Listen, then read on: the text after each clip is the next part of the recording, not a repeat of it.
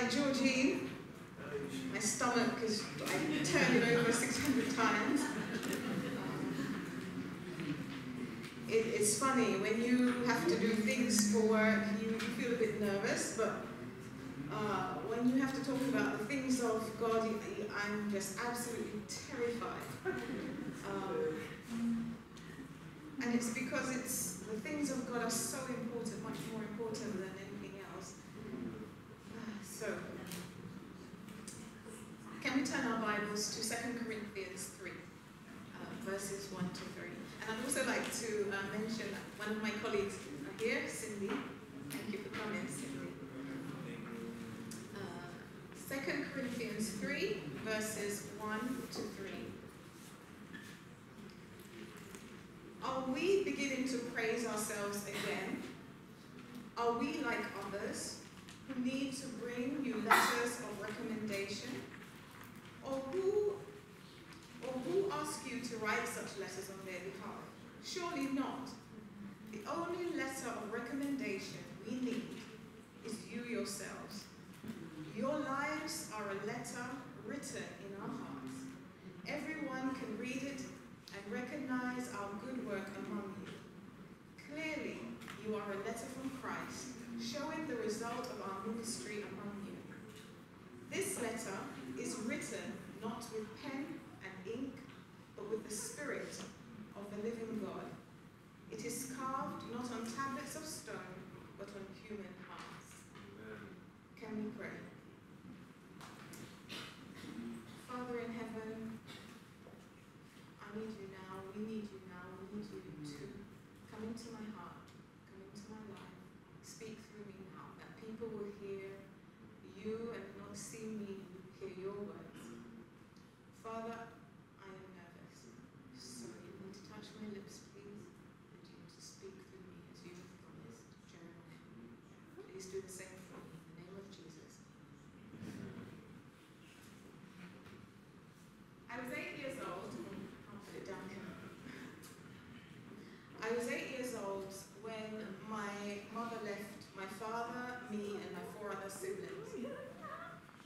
Now, despite my hopes and prayers that she would change her mind, this was not the case, and we never lived together again.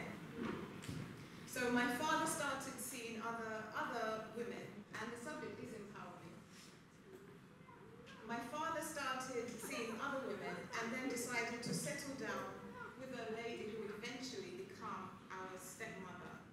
Now I was about nine or ten when Miss Foster came into our life.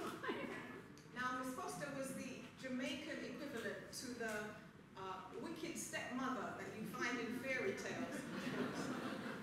um, she despised the fact that we had a very good relationship with our father, and so she made it her mission to, to destroy and dismantle this relationship.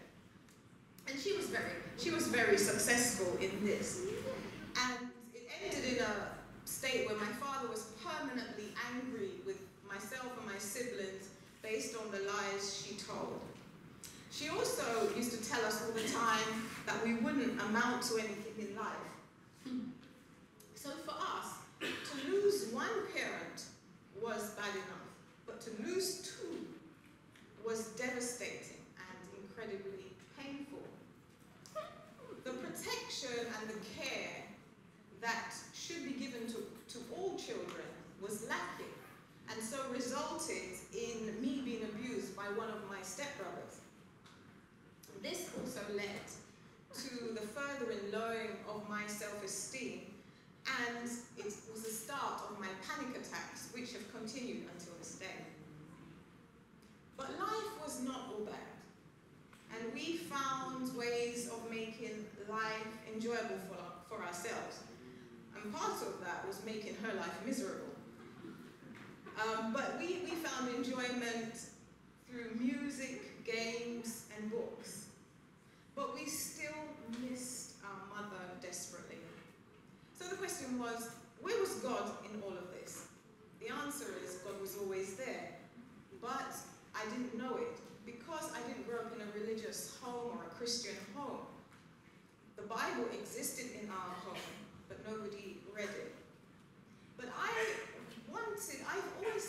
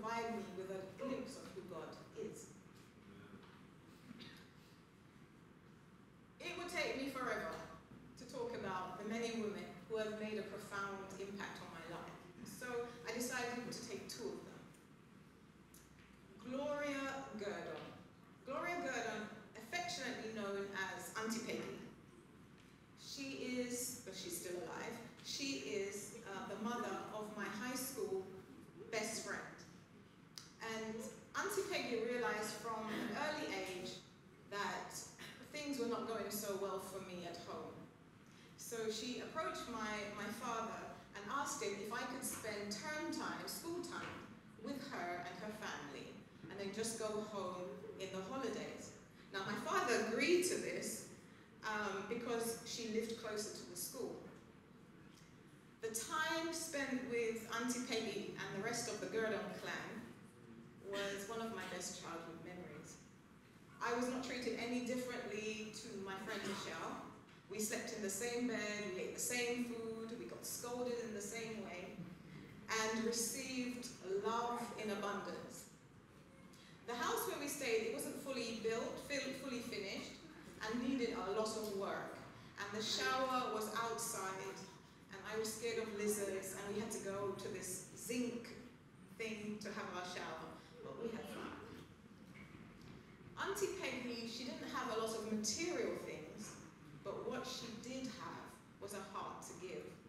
She gave her time, her advice. She would listen to me talk about my parents. She would listen to music with us, dance with us, watch movies with us. She made sure we ate well, we studied hard, and she encouraged us to play hard as well. And although she believed in God, she was not a, a regular churchgoer, and we never spoke about religious things. But she didn't have to, because in her, I saw a glimpse of God. I saw how God wanted me to treat others. She could not see the future, and she didn't know the person that I would become. But all she knew was this young girl, this young lady, needed a mother, and she decided that she was going to fill, stand in that gap. I'm still close to Auntie Peggy, and amazingly, her mother, her, her and my mother have become very good friends. So if we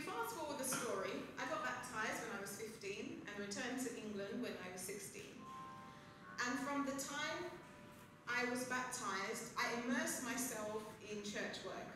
I was um, on the youth leadership team in Jamaica. When I went back to England, I was on the youth leadership team then. But for me, church was a crutch.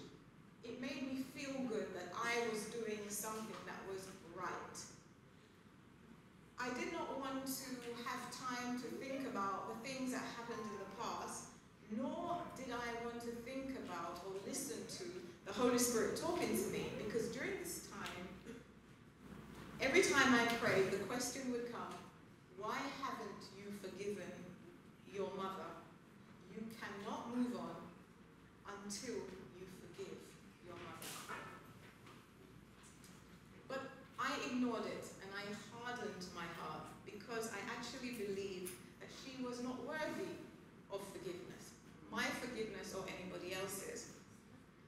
believed that I had deserved all the love I had received from church members and from other people, but she didn't deserve it. I look back now at my self-righteous behavior and I, and I feel ashamed of that.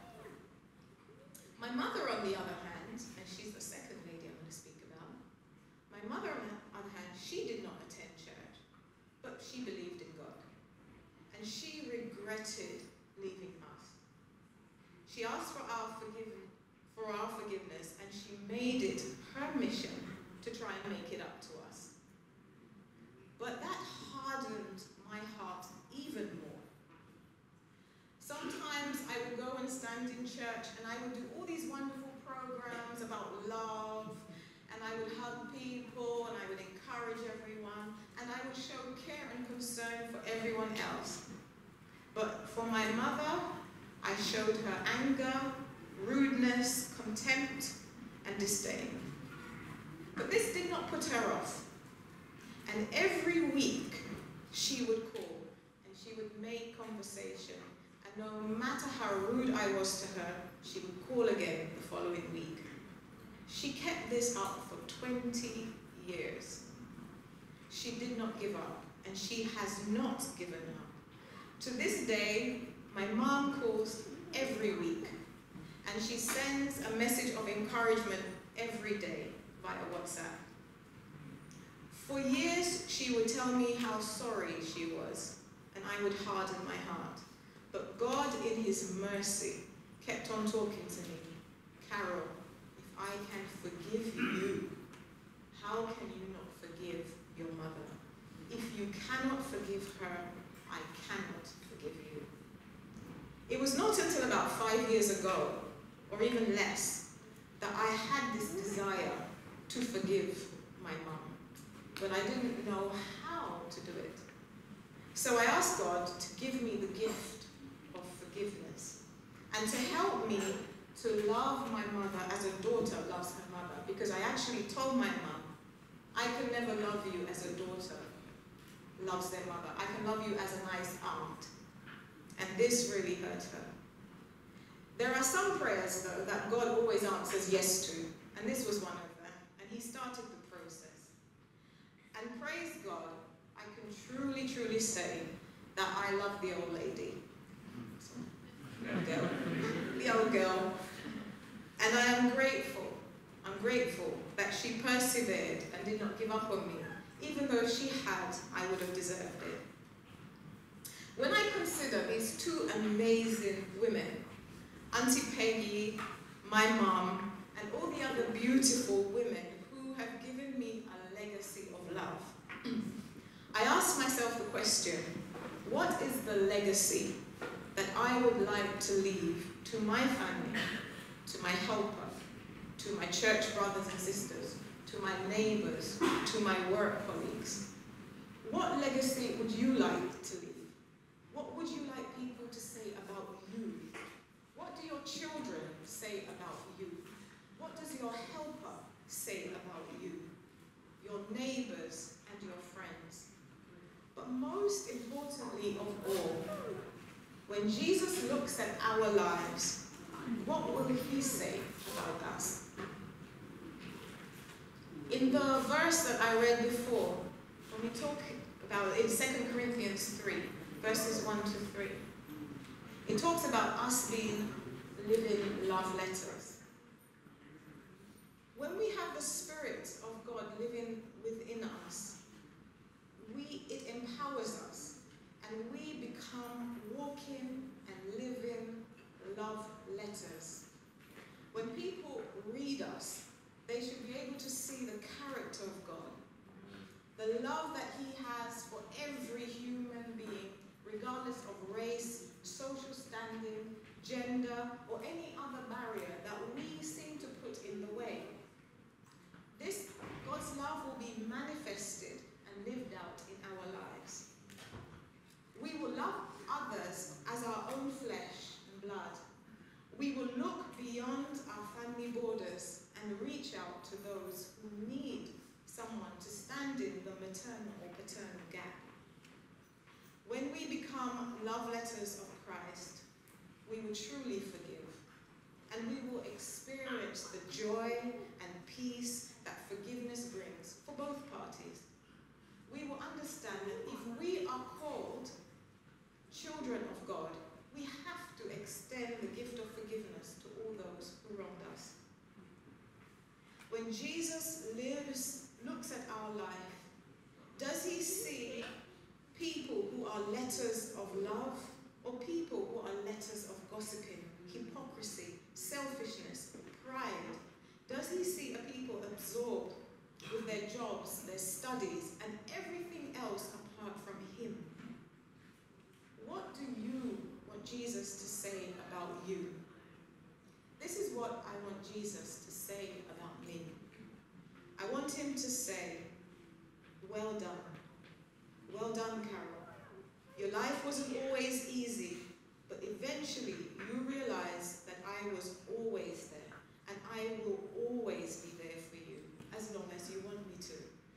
I want him to say, as much as was possible, you kept your daily appointment with me, and we had fun communicating. I felt your sadness when we saw how you loved and cared for others. You didn't pick and choose who you would love.